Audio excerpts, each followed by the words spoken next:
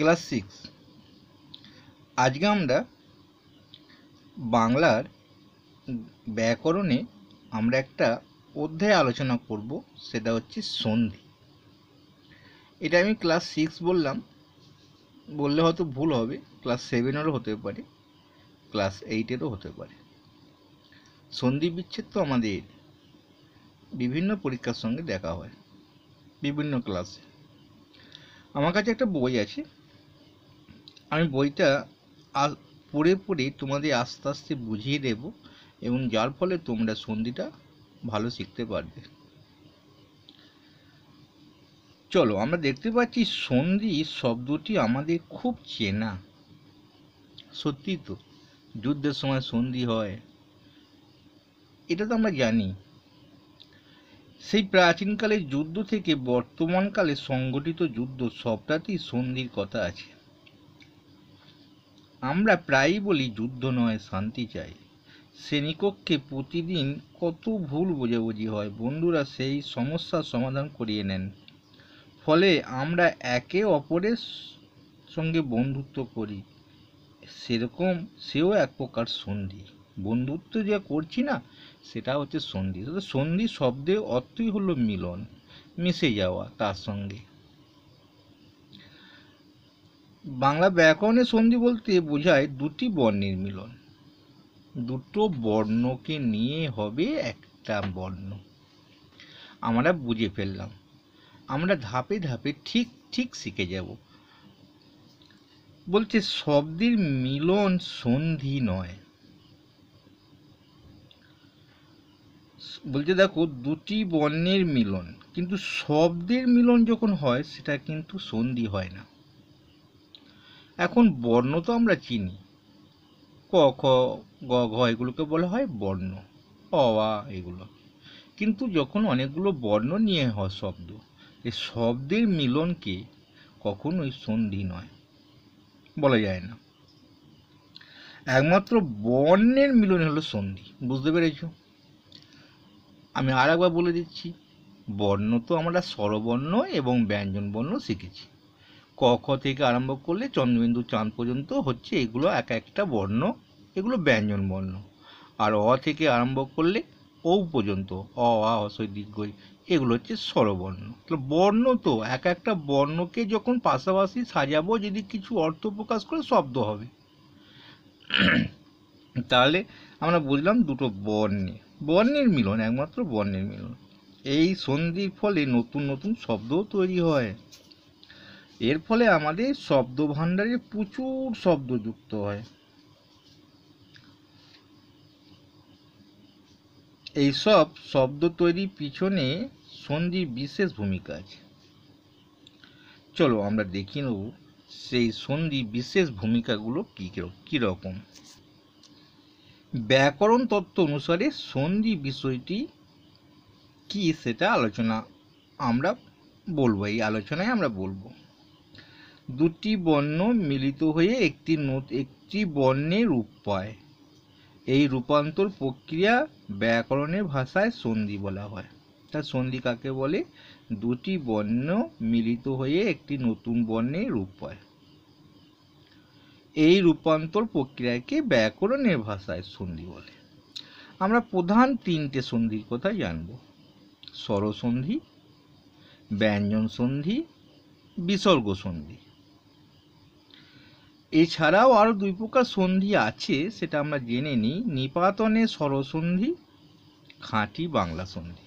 তাহলে এই কোটা সন্ধি যদি আমরা ভালো করে বুঝতে পারি, অন্তপক্ষে প্রথম তিনটে, স্বরসন্ধি, ব্যঞ্জন সন্ধি, বিসর্গ সন্ধি, তাহলে আমাদের অনেকটা সন্ধি সম্পর্কে ধারণা ভালো আসবে। এখন আমরা যাব, ঠিক উদাহরণ দেবে, উদাহরণ দেওয়ার পর সেটাকে আলোচনা করবে এবং বলবে।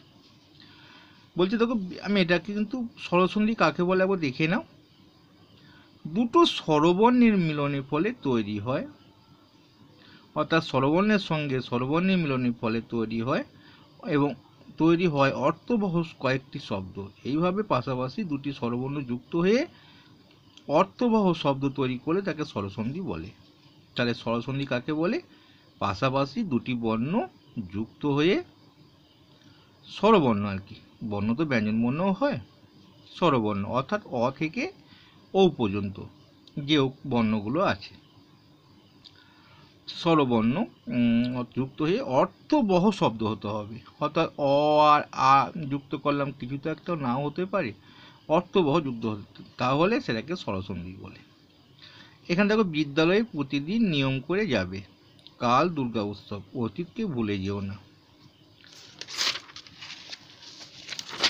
এখন আমাদের আর একটা উদাহরণ দিয়েছি। তোমাকে স্বাগত জানাই।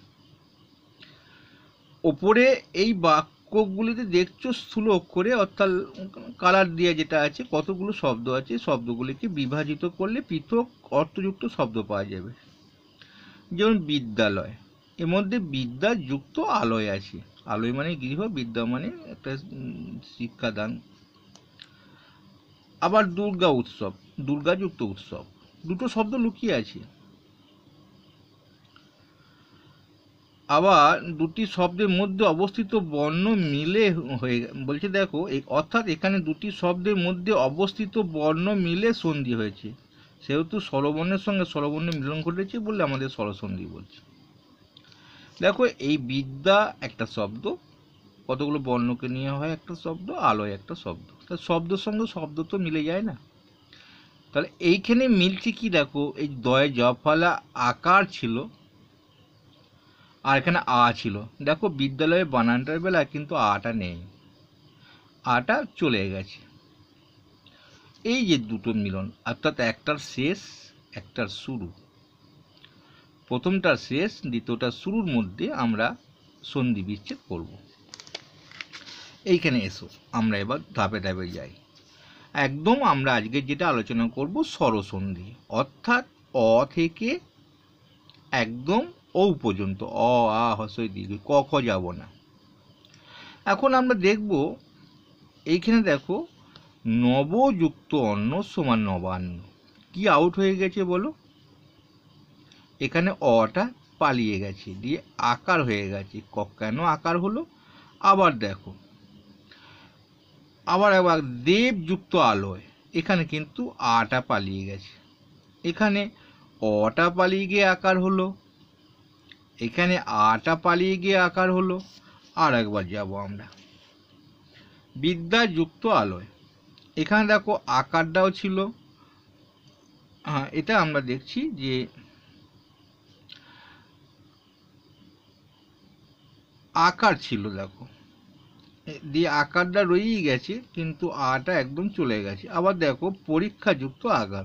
তা পরীক্ষাগার তাহলে উচ্চারণটা কিন্তু আকার ছিল আমার, কিন্তু আকারটা রয়ে, থেকে গেছে। শুধু এটাও পালিয়ে গেছে। এটা কি হয়েছিল? দেবযুক্ত আলোয়, অর্থাৎ এখানে আকার ছিল না, এই আকারটা পালিয়েও গেল, আবার একটা আকার এলো। তাহলে কখন কখন আকারটা হয়? দেখো, অযুক্ত অ মিললে হবে, তিনবার হবে। অযুক্ত আ হলে হবে আর আ যুক্ত আ। বুঝতে পেরেছ? অ আ, অ অ, আ আ আর অ আর আ। মানে উভয় উভয় মিলে গেলে হবে, একে একে মিলে গেলেও হবে। এবার দুজন দুজনকে অ অ মিলে হবে আকার, আ আ মিলে হবে আকার আর আ, অ আর আ। মিলে হবে আকার।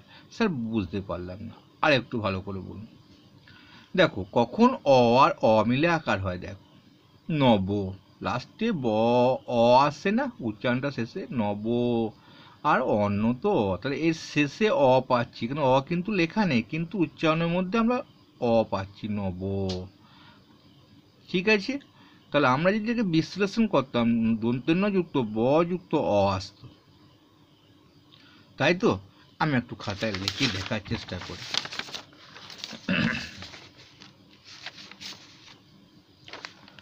নবকে যদি আমরা বর্ণ বিশ্লেষণ করি, কি হবে?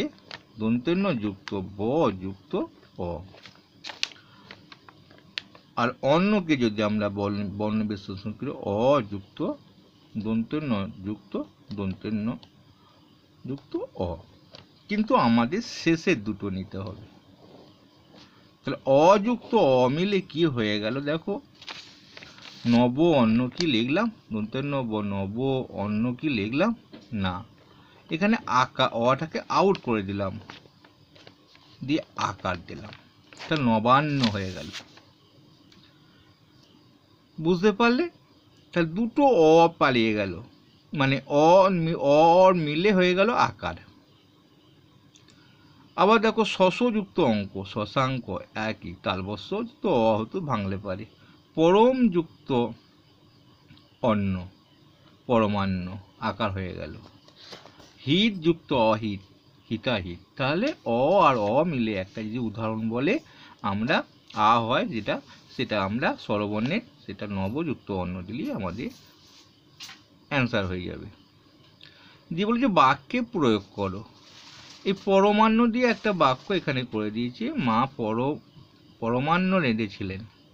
আর নবান্ন দিয়ে তুমি যদি বাক্য রচনা করো অজ্ঞান মাসে নবান্ন একটা বড় উৎসব। বা কলকাতায় বড় একটা অফিস হলো নবান্ন। সেটার নাম কিন্তু নবযুক্ত অন্ন যখন হবে, তখন হবে অজ্ঞান মাসে নব অন্নের একটা বড় উৎসব, নবান্নের বড় উৎসব দেওয়াটাই ঠিক। চলো তারপরে আমরা যাব। এটা তো অ আর অ মিলে হলো। একটা আকার হলো কিন্তু, তিনবার আকার হয়। দেবযুক্ত আলোয়। তো দেব দেব দেব লাস্টে অ আছে। কিছু না থাকা মানে অ, বুঝে নিতে হবে। দেব। আ, তাহলে অ লাস্টে অ পেলাম বর্ণ বিশ্লেষণ করলে আর আস প্রথমে আ পেলাম। তাহলে আগে অ পেয়েছিলাম, তাহলে অ আর আ মিলে হয়ে গেল দেবালয়। আম যুক্ত আশা সমান আমাশা। অগ্রযুক্ত আসন সমান অগ্রাসন। আকার হয়ে যাবে হ্যাঁ? এটা আকারে, তিনটে আকার নিয়ে আলোচনা করব। আর একবার দুটোই আকার তাহলে হয়। বয় বিদ্যাযুক্ত আলোয়। দেখো, আকার আছে কিন্তু এখানে অটা লেখা হয় না আটা লেখা হয় না, শুধু চিহ্নটা লেখা হয়। তার মানে অযুক্ত অ মানে কি? আ লিখব না? আয়ের যে চিহ্নটা, দাগ সেটা লিখব। এখানে দেখো, এটার বাক্য রচনা করেছে শুভযুক্ত শুভযুক্ত আকাঙ্ক্ষী মানে শুভাকাঙ্ক্ষী, সেটা দিয়ে তিনি আমার শুভাকাঙ্ক্ষী ছিলেন। বৃদ্ধাশ্রম দিয়েও কিন্তু তোমরা বাক্য রচনা করতে পারো। অযুক্ত অ দিয়ে যাও। আযুক্ত আ দিয়ে। বিদ্যাযুক্ত আলোয়, বিদ্যালয়, একটাই আকার হবে পরীক্ষাযুক্ত আগর। এটা তোমার আউট হয়ে যাবে, গার্ডার থেকে যাবে পরীক্ষা আগর, পরীক্ষাগার। মহাযুক্ত আশ্রয় মহাশয় কি আকার ছিল? মহা আকারটা আকার ছিল। আর পাচ্ছি না, বর্ণ বিশ্লেষণ করলে কি পাবো? ম যুক্ত হ যুক্ত আ তো আস তারপরেটা কি পাবো? আশ্রয়। আ যুক্ত তালবস্য যুক্ত উনতেস্ত তাহলে এই যে আর মিলে কি হয়ে গেল? আকার। তিনবার আকার হয় আহ এবার চলো, কখন কখন একার হয়? অ আর হস্যই মিলে কিন্তু একার হবে। আর একবার অ আর দীর্ঘই মিলে কিন্তু একার হবে। আর আর একবার হবে আর দীর্ঘই মিলে তার মানে আ আর হস্যই মিলে হবে না, অ আর হস্যই মিলে আর আ অ আর দীর্ঘই মিলেও হবে আর আর দীর্ঘই মিলে হবে। তাহলে অ হস্যের সঙ্গেও হবে অ দীর্ঘয়ের সঙ্গেও হবে আ শুধু দীর্ঘয়ের সঙ্গে হয়ে গেলে একার হবে। চলো আমরা দেখিনি অযুক্ত হস্যই। মিলে একার হয়। এ লিখব কি? না, একার চিহ্নটা দেব। দেব, যুক্ত ইন্দ্র। দেব মানে শেষে কিছু অ পাচ্ছি আমরা কিছু নেই মানে অটা ধরে নিতে হবে দেব। তো দেব, যুক্ত, অ পেয়েছিলাম ইন্দ্র। তাহলে অ আর হস্য যুক্ত হয়েছে। দেখো, অ হস্য হলে একার হয়ে গেছে। হস্যটা পালিয়ে গেছে। শুভ যুক্ত ইচ্ছা, শুভ কিছুই নেই মানে অ পাচ্ছি ইচ্ছা, শুভেচ্ছা। স্বযুক্ত ইচ্ছা, স্বেচ্ছা। তো বাঁয়ের যেটা থাকবে তার একারটা হয়। একার যখন হবে কিন্তু তার পরেরটা হয় না। যেমন এটা যখন বিদ্যা, যুক্তলয় বিদ্যালয়, তাহলে আমরা বুঝে নিলাম যে একারটা হলে দেবযুক্ত ইন্দ্র দেবেন্দ্র প্রথমটার হয়ে যাবে। যথাযুক্ত ইন্দ্র যথেষ্ট, যথাযুক্ত ইষ্ট যথেষ্ট, পূর্ণযুক্ত ইন্দু পূর্ণেন্দু। আবার দেখো অ আর দীর্ঘই হলে হবে গণযুক্ত ইস, গণেশ। আচ্ছা হসই আর দীর্ঘই মধ্যে পার্থক্য কি? ধরো, আমি লিখলাম মনি মধ্যনস্য হতে পারে, আবার মহামধ্যনে দিঘি হতে পারে। যখন উচ্চারণটা অনেকক্ষণ ধরে বলা হয়, সেটাকে বলা হয় দিঘি করা হয়। আর যেটাকে অল্প উচ্চারণের মধ্যে হয়ে যায়, সেটাকে লিখে দিতে হয় হসি। এটাই কিন্তু হলো হসি দিঘির মধ্যে একটু পার্থক্য। তাহলে এখানে ইস ইস নয়, গণেশ গণেশ লেখার হয়ে গেল। পরম যুক্ত ঈশ্বর। তাহলে দেখতে পাচ্ছি দীর্ঘই হয়েছে। আর এখানে অ আছে, কিছুই নেই। তাহলে একার হয়ে যাবে পরমেশ্বর। প্রথমটার সঙ্গে একার হয়ে যাবে। অবযুক্ত ইক্ষণ। তাহলে এটা প্রথমটা একার হয়ে যাবে। হসইটা পালিয়ে যাবে। দুটোর মধ্যে একটা পালাবে, যুক্ত হবে একটা। এখানে বাক্য রচনা গণেশ হলো পার্বতী পুত্র। যে গণেশ বলেছিল একটা বাক্য রচনা করে দিয়েছে। আর আমরা এটা আর একটা শিখে নিই, যে আমরা বিদায় নেব। আমরা পরবর্তী আর একবার সর্বর্ণটা শিখে নেব। দেখো আর দীর্ঘই তাহলে এ হবে। তো রমা যুক্ত ঈশ্বর তাহলে একারটা হয়ে যাবে, তাহলে আটা পালিয়ে যাবে দীর্ঘইটা পালিয়ে যাবে, একার হয়ে যাবে। রমেশ লঙ্কাযুক্ত ঈশ্বর, লঙ্কেশ্বর মহাযুক্ত ঈশ্বর, মহেশ্বর, আর ঢাকাযুক্ত ঈশ্বরী, ঢাকেশ্বরী। তাহলে আজকের মতো বিদায় নিই, আবার দেখা হবে পরবর্তী পর্বে পার্ট টুতে ভালো লাগলে অবশ্যই লাইক করবে।